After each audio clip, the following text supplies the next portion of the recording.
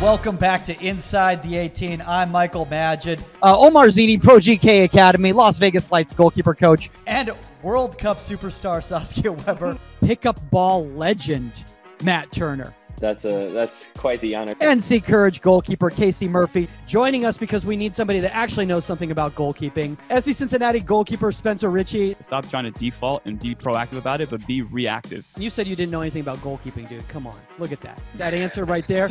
No, this has been a tremendous source of entertainment already. Just watching everybody fix the mics.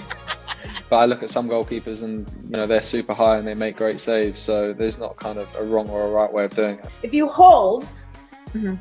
that def- you're giving that defender a little bit more time to recover. So I'm going to manipulate my opponents to bite on a slower pace pass to my teammate so I can get it back and then break pressure. I think a lot of keepers should see this, right? What am I worried about? I'm trying to keep my body open if the cross comes so I can help out.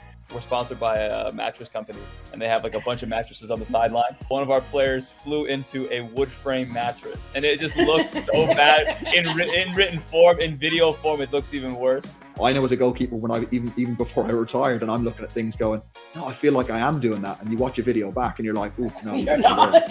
I think we kind of like pass it into pressure sometimes, and then we forget that like we are the 11th player on the field. Like we need to be supporting. Let's get into these questions here. Uh, number one, dude, great question, Matt. Look at where that Matt. What a question! What a what question. a question.